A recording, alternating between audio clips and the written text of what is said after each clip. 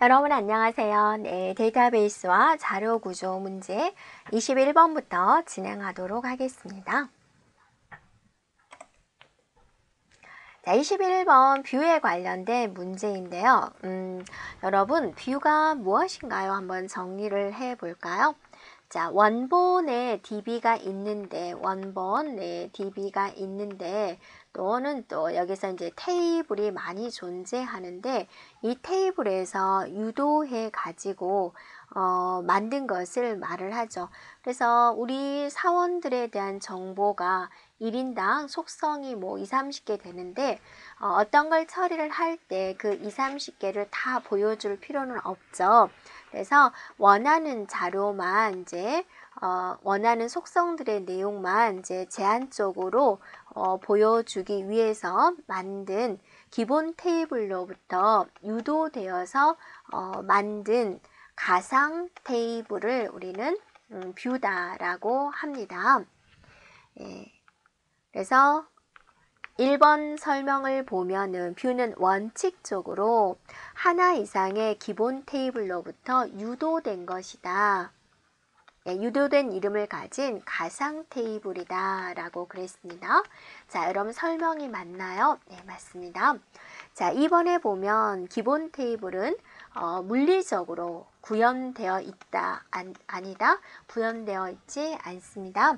그러니까 여기 DB에서는 원본 테이블이 있어요. 근데 거기서 유도된 가상 테이블이죠. 이 자체가 저장되어 있는 것은 아니죠. 자, 세 번째 보면 뷰는 근본적으로 기본 테이블로부터 유도가 되지만 일단 정의된 view, 여기서 이제 이 테이블을 유도해가지고 view를 만들었어요. 이 view를 가지고 또 view 2를 이렇게 만들 수 있다라는 거고요. 자, 4번에 보면 view에 정의된 시스템 내에 어, view의 정의만 시스템 내에 저장하였다가 필요할 때 실행 시간에 테이블을 구축하기 때문에 음, 시스템 검색에 있어서 view와 기본 테이블 사이에 약간의 어, 차이가 있다라고 그랬는데요. 어, 기본 테이블에 대한 변경은 기본 테이블에 대한 변경을 해버리면 어, view에도 영향을 주게 됩니다. 또 view의 변경은 기본 테이블에 또 영향을 주게 되기 때문에 어, 두 테이블의 검색 연산은 항상 일치를 하게 됩니다. 약간의 차이가 있다 그렇지 않습니다. 그래서 틀린 것은 4번입니다. 자, 22번입니다. 데이터베이스에서 view에 대한 특징 중 옳지 않은 것은 그랬습니다. 자, 1번 view는 기본 테이블로부터 유도되는 가상 테이블이다. 물리적으로 존재하지 않습니다. 그러니까 view 하면 여러분이 어, 뭐를 생각을 해줘야지 돼요? 네, 어, 기본적으로 생각을 해줄 게 기본 테이블로부터 유도된 어, 가상 테이블이다 라는 거. 그 다음에 이거는 이제 어, 물리적으로 저장되어 있다, 저장되어 있지 않다, 저장되어 있지 않는다 라는 거 생각해 주면 되고요. 자, 두 번째 필요한 데이터만 view로 정의해서 처리하기 때문에 관리가 용이하다라고 그랬습니다. 원본에 있는 테이블은 어, 홍길동이라는 사람에 대한 데이터가 이름, 주소, 전화번호, 취미, 특기, 뭐 사는 곳, 뭐 출신 학교 이런 정보들이 굉장히 많이 있는데 어, 이것들을 우리가 다 에, 사용할 모든 계산할 때마다 다 사용할 필요는 없죠. 몇 개의 속성만 가져와서 우리가 이제 쓰기 때문에 관리가 용이하다. 자, 세 번째, view를 통해서 데이터에 접근하기 때문에 데이터를 이제 안전하게 보호할 수 있습니다. 이 원본을 보호할 수 있다라는 거고요. 네, view를 정의하기 위해서 create 문을 사용한다. 자, 여러분이 이제 SQL에서 view를 뭔가 정의를 할 때 정의어 create가 있었죠. 그 다음에 제거할 때, 삭제할 때는 뭐가 있었죠? drop이죠. 테이블 전체, view를 전체 제거할 때는 drop입니다. delete 문장은 하나하나의 이제 tuple을 삭제할 때 쓰는 것이죠. view를 제거할 때는 drop입니다. 네, 그래서 4번이 잘못 설명이 되어 있군요. 23번입니다. 네, 시스템 카탈로그에 대한 설명으로 옳지 않은 것은 그랬습니다. 시스템 카탈로그 하면 여러분이 이제 기본적으로 어, 생각해 줘야 될 건 뭐냐면 어, DBMS가 네, DBMS가 네, 스스로 생성하고 어, 유지하는 데이터베이스 내 특별한 테이블의 집합이다라는 것이고 데이터베이스에 저장되어 있는 어, 모든 데이터 어, 개체들에 대한 정의, 네, 정의 또 그것에 대한 명세 네, 그런 정보들이 수록한 네, 테이블이다, 시스템 테이블이다 라는 겁니다. 일반 사용자들도 SQL을 이용을 해서 검색을 할 수가 있다라는 거죠.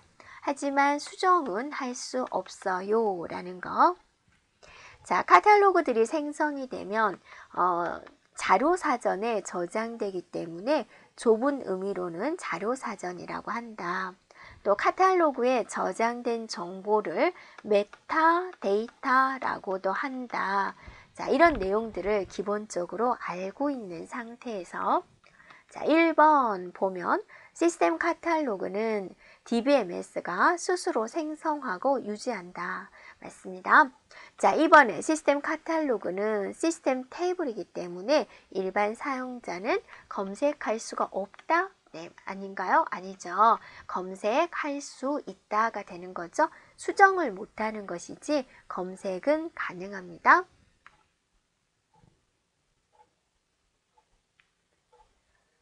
네, 그 다음에 이제 세 번째 시스템 카탈로그에 저장된 정보를 메타데이터라고 한다. 맞죠?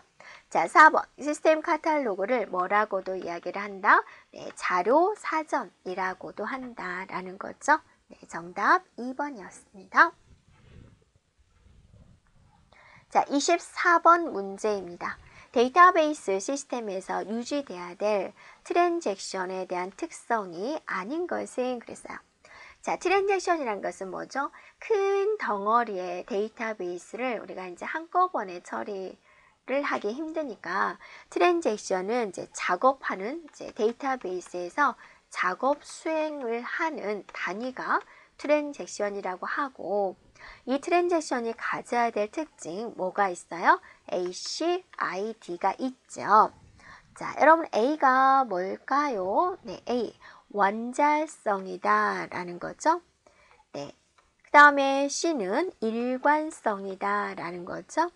네, I는 격리성이다 라는 거죠. 자, D는 영속성이다 라는 거죠. 네. 그래서 원자성이다 라는 것은 수행하려면 하고 말라는 말아라. 수행하든지 완벽하게 수행하든지 전혀 어, 전혀 하랑, 하다가 이제 오류가 발생이 되면 전혀 실행되지 않은 상태로 이제 복귀를 해야 되겠죠. 일관성이다 라고 하면 어, 처음과 끝에 일관적인 상태를 유지를 해라 라는 거죠. A 더하기 B가 1000이다. 그러면 어, 어쩌 A와 B가 중간에 연산을 하더라도 끝에는 A 더하기 B는 1000을 만족을 해라. 경일성입니다. 네, 중간 결과는 다른 트랜잭션이 어, 접근하면 안 된다. 다른 트랜잭션에 대한 간섭을 받지 말아라. 연산 중일 때. 영속성이라는 것은 성공적으로 완료되면 어, 그 결과는 지속적으로 어, 보관이 되어야 된다라는 거죠. 그러면 여기서 문제에서 요구하는 것은 아니 해당되지 않은 것 원자성, 일관성, 격리성, 영속성이죠. 그래서 틀린 것은 4번입니다. 자, 25번입니다. 네, 트랜잭션에 대한 연산은 데이터베이스에서 모두 반영되든지 아니면 전혀 반영되지 않아야 한다라는 트랜잭션에 대한 특징이 무엇이냐 라고 그랬습니다. 자, 그래서 A, C, I, D 다시 한번 생각해 보면 되죠. 자, 우리가 앞부분에서 써놓은 거 볼까요? 원자성, 일관성, 격리성, 영속성 중에서 모두 반영되든지 아니면 전혀 반영되지 않아야 된다. 그걸 뭐라 그런다고요? 원자성이라 그런다. 그래서 네, 정답 원자성 1번이 되겠습니다. 그래서 여러분이 트랜잭션에 관련된 내용 ACID는 꼭 기억을 합니다.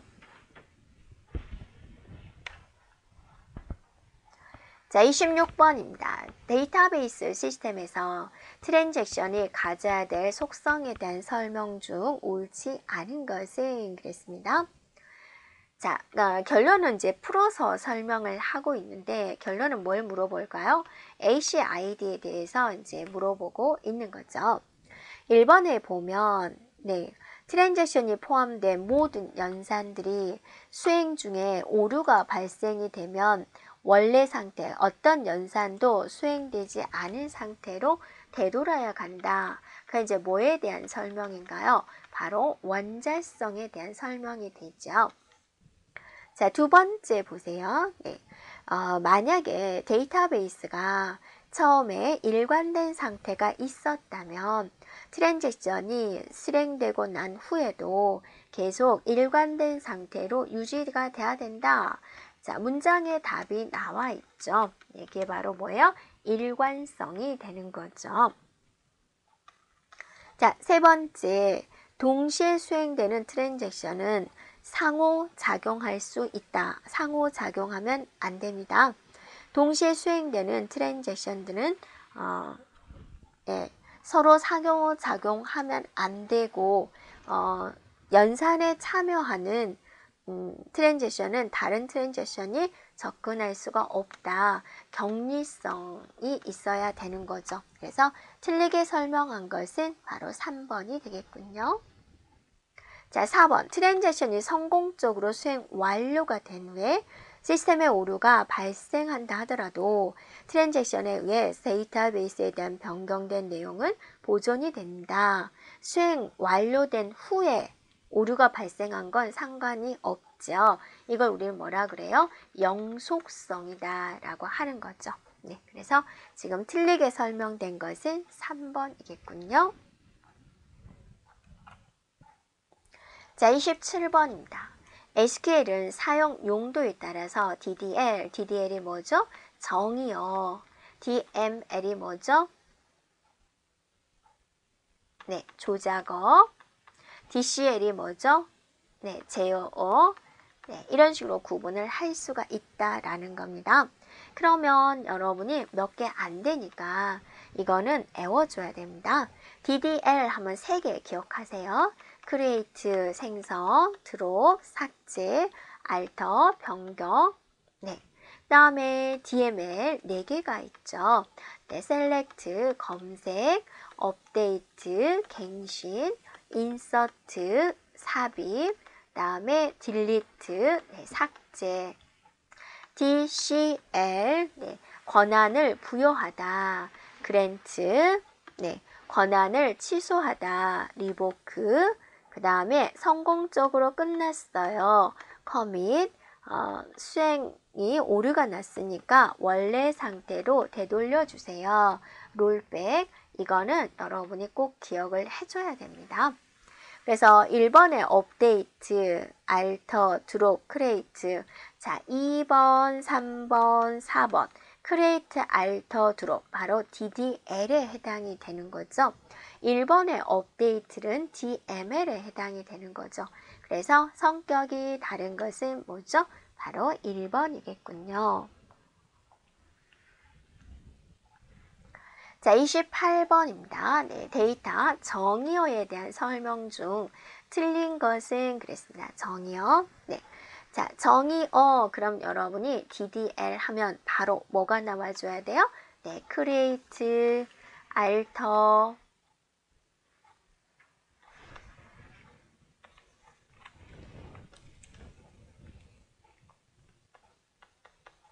네, 드롭 네, 세 가지 생각합니다. 데이터베이스에 대한 논리적인 구조를 기술하는 거죠. 데이터베이스에 대한 접근 권한, 자, 접근 권한에 해당되는 것은 너 여기 오면 안 돼 라고 제어하는 거 바로 DCL에 해당이 되는 거죠. 네, 그래서 네, 틀린 것은 2번입니다. 자, 3번에 물리적인 구조. 네, 구조. 네. 1번도 논리적인 구조. 다음에 4번에 관리자만 사용 가능한다. 테이블을 만들 수 있는 것은 일반 사용자가 아니라 관리자죠. 네, 관리자가 접근하는 거다. 맞습니다. 자, 29번입니다. 네. 테이블의 구조를 변경한다. 테이블의 구조 변경입니다. 사용하는 SQL 명령어는 그랬습니다. 네, 그럼 이거는 이제 DDL 정의할 때 사용이 되는 거죠. 자, create, alter, 네, draw 네, 세 가지 중에서 create는 뭐 할 때? 바로 생성할 때, alter는 변경할 때, draw는 뭐할 때? 삭제할 때 쓰는 거죠. 그래서 변경할 때 사용되는 것 바로 뭐예요? alter table 3번이 되겠군요. 자, 30번입니다. 다음 SQL 중에서 DDL, DDL 바로 정의어에 해당이 되는 것. 자, 세 가지 꼭 애우자라고 그랬죠? create, alter, drop 꼭 기억합니다. 그래서 네, 정답은 2번이 되겠군요. 자, 31번입니다. 어떤 산술식을 표현한 이진트리에서 전위순회를 한 결과가 이런 내용이 나왔습니다. 이거를 후위순회로 바꿔라 라는 건데요. 전위순회다 라고 한다면 연산자가 앞에 나오고 데이터, 데이터가 나오는 방식이죠. 후위순회한 결, 후위순회다 그러면 어, 데이터, 데이터, 연산자가 나오는 방식이죠. 그러면 음, 이게 후위순 전위순회로 이제 나타낸 거를 후위순회로 바로 바꿔주면 되겠습니다. 자, 네, 다시 한번 여기다가 써보도록 할게요. 이렇게, 이렇게, 이렇게 있습니다. 어, 전위순회를 찾아요. 연산자, 데이터, 데이터. 앞에서부터 오면서 연산자, 데이터, 데이터를 찾았더니 이렇게 되죠. 이걸 후위순회로 바꿔버려요. 연산자를 그냥 뒤로 보내면 되죠. A, B, 별 이렇게 해주면 되죠. 자, 이제 이걸 통째로 데이터로 보는 겁니다. 연산자, 데이터, 연산자, 연산자, 데이터, 데이터. 바로 이거를 찾을 수가 있죠. 그럼 얘는 어때요? CD 별로 바꿀 수 있겠군요. 자, 다시 한번 이제 앞에서부터 해봐요. 연산자, 데이터, 연산자, 데이터, 데이터. 연산자 데이터 데이터를 찾았으니까 이렇게 묶어주는 거죠. 그럼 이 나누기 연산자를 맨 뒤로 보내면 되죠. cd 별 2 슬래시 이렇게 해주면 되죠. 그러면 연산자 데이터 데이터가 되죠. 그래서 얘를 이제 이렇게 묶어주면 되죠. 그래서 데이터 통째로 데이터 자 통째로 데이터 그리고 연산자 데이터, 데이터, 연산자 이렇게 나타낼 수 있습니다. 그러면 정답은 바로 1번이 되겠군요. 자, 32번입니다. 다음 중위표기법을 후위표기법으로 표기할 때 옳은 것은 그랬습니다. 자, 이건 조금 더 제가 크게 써볼게요. 네, 이렇게 쓰고 b 빼기 c 슬래시 5 더하기 d 빼기 8 곱하기 2 나누기 5 이렇게 되어 있군요. 어, 이제 연산자 우선순위로 묶어주고 연산자를 뒤로 빼주면 되는 거죠. 연산자 우선순위에서 가장 높은 거 가로가 있고 가로 안에 봤더니 나누기가 있군요. 이렇게 그럼 해당되는 연산자를 이렇게 뒤로 빼주면 되는 거죠. 그 다음에 이제 이 가로를 처리해서 이제 얘가 이렇게 뒤로 빠지면 되는 거죠. 자, 그러면 여기 또 가로가 있군요. 그럼 아, 곱하기 나누기가 있으면 앞에서부터 그래서 이렇게 해서 얘를 뒤로 빼주고 됐죠. 그 다음에 여기는 빼기고 나누기니까 나누기를 먼저 해야죠. 나누기 뒤로 빼주고 이제 가로 해야죠. 네, 가로 뒤로 빼주고 가로에 마이너스 자, 그러면 이제 가로에 대한 건 다 처리를 했어요. 여기가 곱하기가 있죠. 그래서 어, 이 곱하기에 관련된 거 여기죠. 네, 그래서 이거를 뒤로 빼주고 이제 더하기 하나 남았죠. 그래서 최종적으로 이 더하기를 이제 뒤로 빼주면 되겠군요. 그러면 이제 순서대로 잘 적기만 하면 되겠죠. 그래서 A, B, 자, 얘 빠져나갔으니까 C, 나누기도 빠져나갔고 5가 있죠. 이 자리에 나누기가 오죠. 자, 이 자리에 빼기 표시가 오죠. 자, 이 자리에 곱하기가 오죠. 자, 그 다음에 여기가 D가 있군요. 자, 나갔죠? 8, 8 남았죠? 여기에 2가 있군요. 여기에 곱하기가 오군요. 나누기 나가버렸어요. 5. 자, 이 자리에 나누기가 오고, 이 자리에 빼기 표시가 오고, 이 자리에 더하기가 오는군요. 자, 이렇게 된 걸 찾아보면 되겠죠. 네, 그랬더니 정답은 2번이 되겠군요. 자, 33번입니다. 다음 전이표기법 방식의 수식을 후위표기 방식으로 나타낸 것은 그랬고, 자, 이렇게 표시된 것은 b의 c제곱이다. 즉, 이렇게 표시된 것은 b의 c제곱이다. 이걸 나타낸다라는 거죠. 자, 우선순위 한번 우리가 생각을 해볼까요? 연산의 우선순위. 가장 우선순위가 높은 것은 가로고요. 그 다음은 이제 거듭 제곱이 되고요. 곱셈, 나눗셈이고요. 덧셈, 뺄셈 이런 순서대로 돼 있죠. 자, 그러면 여기서 이제 조금 한 번 더 써볼게요. 네. 자, 이런 데이터가 있다. 그러면 전위표기법은 연산자 데이터 데이터가 되고 후위표기는 데이터 데이터 연산자가 되죠. 이렇게 된 걸 찾아서 이렇게 바꿔주면 되는 거죠. 자, 연산자 데이터 데이터인데 예, 연산자 데이터 데이터 바로 이 부분이 있군요. 네, 이 부분. 그래서 이거를 BC 이걸로 바꿔버린다라는 거죠. 그러면 이제 얘가 이제 하나의 데이터가 되는 거죠. 연산자, 연산자, 연산자, 데이터, 데이터. 바로 이 부분이 처리가 되는군요. 이 부분을 다시 쓰면 얘만 뒤로 넣어주면 되죠. 그래서 A, B, C 이것에 이렇게 해주면 되는 거죠. 연산자, 연산자, 데이터, 데이터. 자, 연산자, 데이터, 데이터 이 부분을 처리할 수가 있죠. 그래서 별만 뒤로 빼주면 되죠. 그래서 A, B, C에 예, 이렇게 해서 이렇게 해주면 되죠. 자, 연산자, 데이터, 데이터. 자, 또 이렇게 찾았죠. 그래서 이 더하기만 뒤로 빼주면 되죠. A, B, C에 D, 별, E, 더하기 이렇게 해주면 되겠습니다. 그러면 정답은 바로 1번이 되겠군요.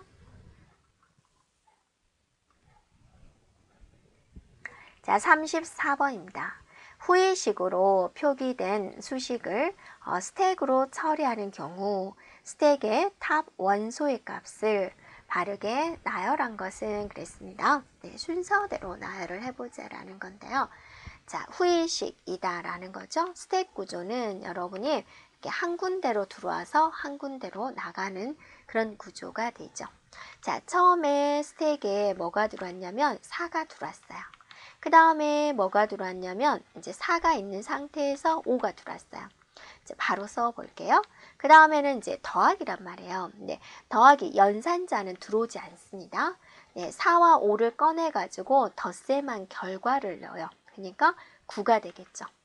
자, 9가 있는 상태에서 그 다음에 2가 들어왔어요. 됐죠? 9가 있고 2가 있는데 3이 들어왔어요. 그 다음에 이제 곱하기거든요. 그럼 얘는 두 개를 꺼내요. 두 개를 꺼내서 그 결과를 넣어줘요. 빼기 표시가 나왔군요. 자, 두 개를 꺼낸 다음에 넣어줘요. 그래서 9 빼기 6 해서 네, 3이 되겠습니다. 그러면 탑의 순서는 어때요? 4, 5, 네, 9, 4, 5, 9, 네, 2, 3, 네, 6, 3 이렇게 되는 거죠. 네, 그래서 정답은 네, 4번이 되겠습니다.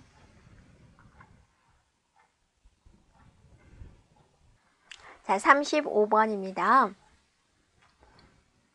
자, 중위표기법의 수식을 네, 전위표기법으로 바꿔주세요. 자, 연산자 우선순위대로 가로를 한 다음에 연산자, 네, 데이터, 네, 데이터 형태, 연산자를 해당되는 가로 앞으로 왼쪽으로 내어주면 되는 거죠. 네, 한번 해볼게요. A 더하기 B가 있고 곱하기 C가 있고 더하기 D가 있다. 연산의 우선순위 가장 가로에 있죠. 그래서 가로 했고요. 그 다음에 이제 곱하기 해주면 되고 그 다음에 이제 더하기 해주면 되는 거죠. 그래서 어, 앞으로 이제 꺼내도록 합니다. 자, 해당되는 가로 앞으로 자, 해당되는 가로 앞으로 해당되는 가로 앞으로 그러면 여기에 더하기가 왔고 곱하기가 왔고 더하기가 왔고 A, B, C, D 이렇게 해주면 되는 거죠. 네, 그러면 이렇게 써진 걸 찾아봤더니 바로 4번이 되는군요. 네, 정답은 4번입니다. 자, 36번입니다. 다음 수식에 대한 후이 표기법을 구한 다음에 스택을 이용해서 수식을 계산하고자 한다. 수식 계산 과정에서 스택의 일곱 번째로 푸시되는 값은 무엇이냐라고 그랬습니다. 자, 그러면 이것은 이제 여러분이 일단 후입 표기법을 구해줘야 되겠죠. 후입 표기법 구하기 위해서 한 번 더 쓰도록 할게요. 네. 자, 이렇게 되어 있고 C 빼기 D 더하기 2 어, 슬래시 F다. 이 문제는 굉장히 좋은 문제죠. 연산의 우선순위대로 이제 가로를 합니다. 가로 했죠?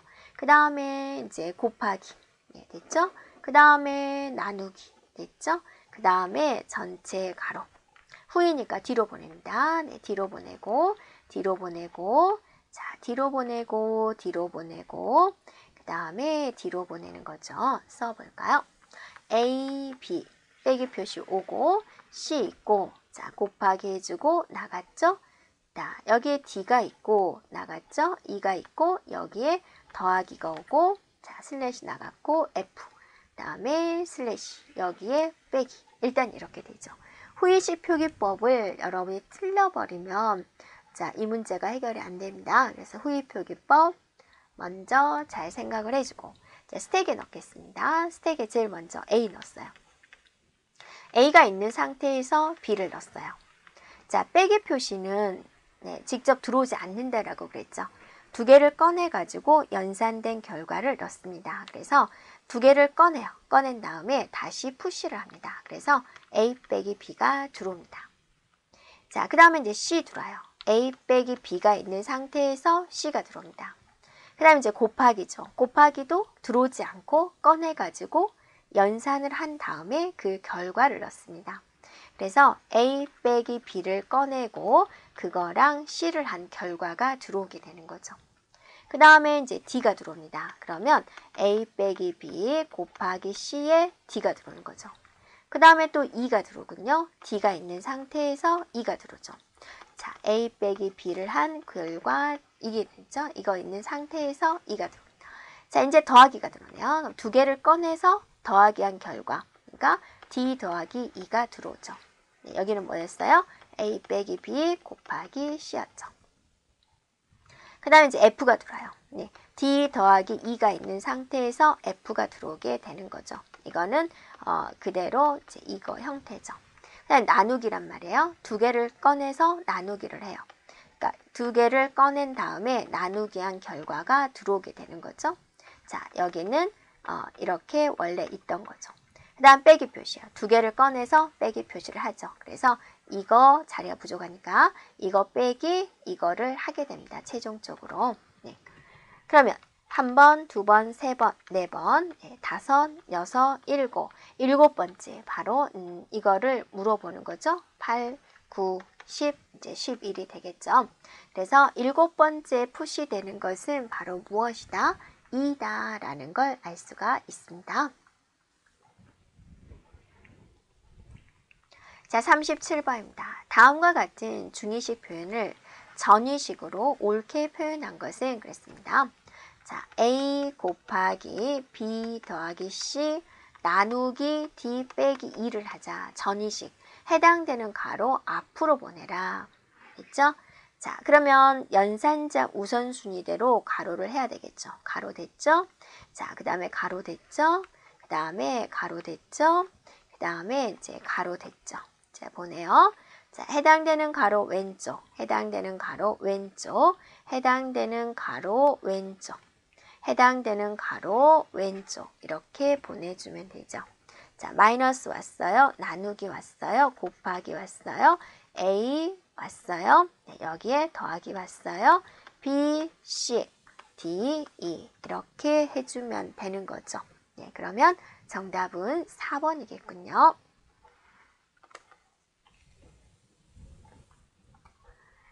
자, 38번입니다. 네, 한쪽 방향으로는 자료가 삽입이 되고 반대 방향으로는 자료가 삭제되는 구조가 무엇이냐? 굉장히 단답형 쉬운 문제죠.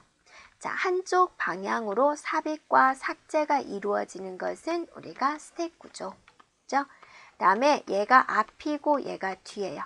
뒤로는 쭉쭉 삽입되는 것이고 앞으로는 쭉쭉 삭제가 되는 것. 이게 바로 뭐가 되나요? Q 구조가 되는 거죠. 자, 39번입니다. 다음 중 트리에 대한 설명으로 옳은 것은 그랬습니다. 트리는 여러분이 그림으로 그려본다면 이런 구조가 트리 구조가 되죠. 자, 1번에 root node가 어, 많은 트리일수록 좋은 트리다. root는 어때요? 딱 한 개. 무조건 한 개입니다. 자, 두 번째, 트리와 관련된 알고리즘을 재귀적 방법으로 그랬습니다. 재귀적 방식으로 구현하면 실행 시간이 빨라진다. 재기적은 그렇게 좋은 방법은 아닙니다. 내 자신을 다시 호출하는 겁니다. 그럼 내가 내 자신을 또 호출하고, 내가 내 자신을 호출하고, 이런 방식이 됩니다. 자, 세 번째, 트리의 최대 레벨과 트리의 높이는 무관하다. 자, 이때 레벨은 1이다. 레벨은 2다. 레벨은 3이다. 최대 레벨은 3이죠. 그러면 이걸 뭐라 그래요? 깊이라고 그럽니다. 관련이 없다가 아니죠. 네. 자, 네 번째. 트리의 노드 중 차수가 0인 노드를 leaf node 어, 또는 네, 무슨 노드? 단말 노드, 어, terminal node 네, 다 같은 말이 됩니다. 네, 그래서 네, 옳게 설명한 것은 바로 네, 4번이 되겠군요. 자, 40번입니다. 다음 이진트리의 노드를 후위순회를 한 경로를 나타내는 것은 자 후위순회다 그러면 어떻게 되는 거죠? 왼쪽 노드, 오른쪽 노드, 네, root node 이런 순서를 이제 잡아주면 돼요. 그러면 이제 예, 한번 볼까요? 어디를 먼저 해도 되는데요. 자, 우리는 이걸 먼저 해볼까요? 네, 그래서 어, B죠? B, C, 네, A 이렇게 나타낼 수 있죠. 그 다음에 또 세 개를 잡아요. 이걸로 할까요? D, E, B가 되죠. 그래서 D, E, B다. 그 다음에 이걸로 할까요? 이걸로 F, E가 된다. F, E. 그 다음에 이제 또 우리 이거 할까요? 네, G, C가 된다. G, C. 그 다음에 이걸로 할까요? H, I, G, H, I, G 이렇게 나타내주면 되겠죠. 그래서 맞는 것은 2번입니다. 자, 여기까지 40문제였습니다.